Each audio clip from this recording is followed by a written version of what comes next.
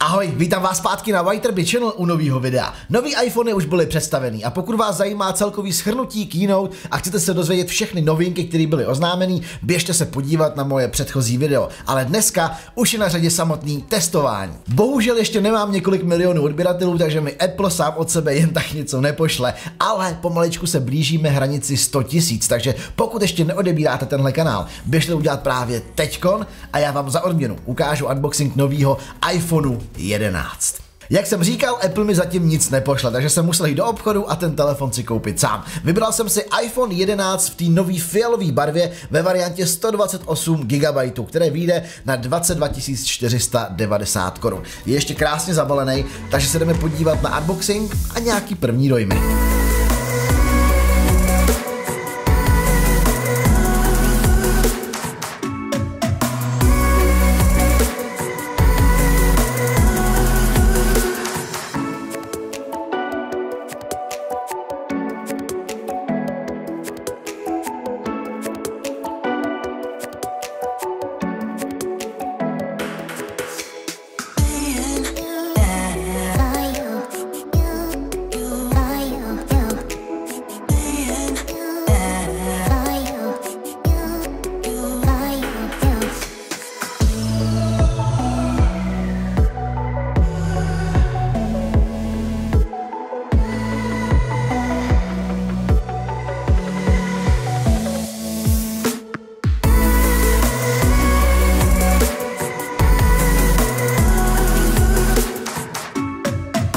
Takže tohle je nový iPhone 11. Musím říct, že na první pohled na mě působí velice příjemně. Hlavně v tom balení je umístěný zádama nahoru. Takže když tu krabičku otevřete, tak jako první na vás vykoukne ta nová barevná varianta, tahle fialová, která není nějak křiklavá, je taková decentní, řekl bych, že možná spíš levandulová, pokud přistoupíme na filozofii, že levandule je i barva a nejenom kitka.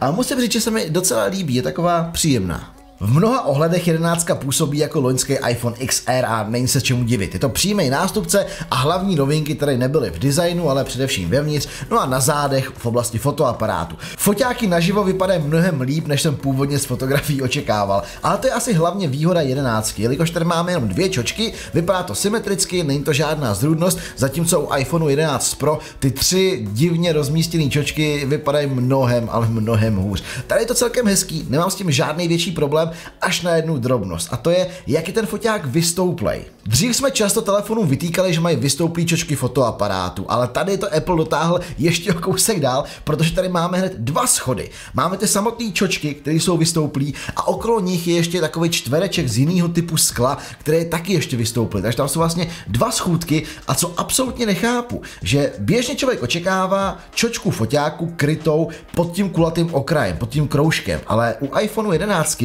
to to sklíčko přesahuje ten kovový kroužek, tudíž tím sklíčkem rovnou dosedáte na nějakou plochu, když tam ten telefon položíte. Tudíž opravdu doporučuji mít tady jakýkoliv ochranný pouzdro, aspoň nějaký základní silikon, abyste si nepoškrábali čočky foťáku zkrátka tak, že telefon budete pokládat na stůl. Trošku mě mrzí, že Apple tady zůstal u těch lesklejch zad, zatímco ta matná úprava je vyhrazená jenom pro iPhone 11 Pro. Musím říct, že se mi na první pohled líbila mnohem víc, známý i třeba z jiných telefonů, je strašně příjemná do ruky, ale tady máme zkrátka pořád lesklý záda a ta matná úprava se dostala jenom na ten čtvereček kolem fotoaparátu, což na jednu stranu vypadá fajn, má tam ty foťáky takhle hezky zdůrazněný, ale přece jenom ten feeling v ruce té matné úpravy je takový trošku příjemnější. No a ještě si řekneme něco k těm fotoaparátům. Máme tady celkem dvě dvě čočky, obě dvě s rozlišením 12 megapixelů, jedna je klasická a druhá širokouhlá. A tahle ta kombinace se mi opravdu hodně líbí, protože širokouhlý fotky vypadají neskutečně krásně a dají vám úplně nový pohled na svět. Už jsem to říkal několikrát, že tahle ta varianta se mi líbí možná ještě trošku víc než teleobjektiv,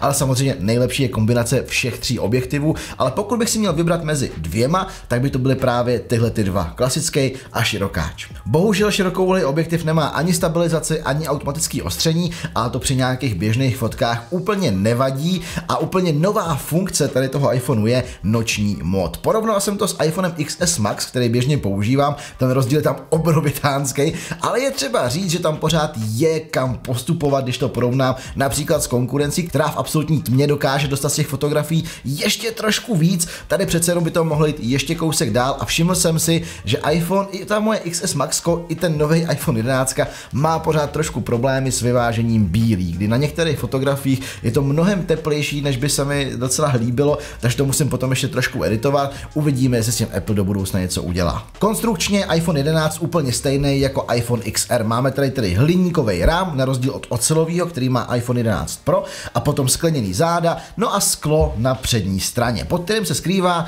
6,1 palců velký Liquid Retina display. Je to takový fancy označení pro klasický LCDčko s docela tristním rozlišením na dnešní poměry a v jemností nějakých 326 pixelů na palec, což je jemnost, kterou má Apple už od iPhoneu 4. Tudíž, když se podíváme ty roky zpátky, že jsme se dostali až k tomuhle tomu telefonu bez jakéhokoliv vylepšení, zkrátka nelíbí se mi to. A právě ten display si myslím, že je největší nevýhoda iPhoneu 11. Pokud se budete rozhodovat mezi iPhonem XS nebo Xkem a iPhonem 11, tak ten display bude podle mě ten hlavní deal breaker, jestli se rozhodnete pro ten nebo pro ten. U toho iPhoneu 11 máme mnohem silnější rámečky, horší rozlišení, i když při tom běžném používání to není tolik vidět, tak třeba při zkoumání fotografií, nějakým zvětšení, tak je tam velikánský rozdíl mezi třeba iPhonem XS Max, který mám tady u sebe, a iPhonem 11. Ty pixely už tam zkrátka zblízka vidíte a ty fotografie potom vypadají, že nejsou tak ostrý, jako vlastně ve skutečnosti jsou. Na druhou stranu je tady ale obrovitánský skok, co se týče hardwareu. Máme tam nový čip Apple A13 Bionic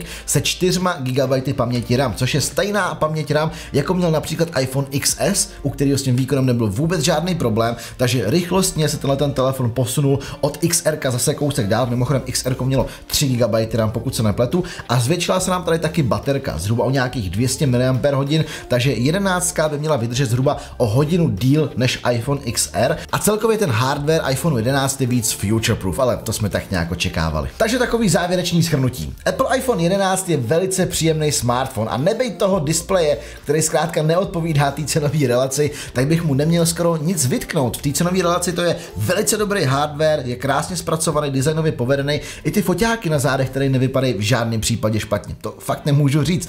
A i ta cenovka je tedy docela příjemná, protože iPhone 11 přišel na trh o 1500 levnější, než přišel iPhone XR. Můžete ho mít už za nějakých 21 tisíc korun. Tahle 128 GB varianta vyšla na 22,5 tisíce, což je taky o 1500 nižší, takže cenová politika Apple tedy překvapivě je trošku atraktivnější, než tomu bylo dřív. To je možná vůbec poprvé, co nový iPhone přišel levnější než ta předchozí generace, pokud si vzpomínám. No každopádně teď mě čeká pořádný otestování iPhoneu 11. Beru se o sebou do Ameriky, takže pokud se chcete podívat, kde se budeme všude pohybovat a co budeme zažívat, běžte se podívat na můj Instagram, budu tam rozhodně dávat nějaký storíčka a pokusím se pro vás v Americe udělat taky nějaký zajímavý video. Uvidíme ještě o čem bude. Já vám každopádně muziku za pozornost, tohle byly takový první dojmy z iPhoneu 11 v této moc hezký fialový barvě, opravdu opravdu hezká, Vado, líbí se mi. Moc děkuji za pozornost, doufám, že se vám dnešní video líbilo a pokud jo, tak nezapomeňte dát like, sdílet ho a taky odebírat kanál White Rabbit Channel, abyste nezmeškali žádný nový videa na tlačítku tady dole pode mnou. A další videa jsou potom tady a tady, běžte se tam taky podívat a já se budu těšit na viděnou zase někdy příště. Tak ahoj.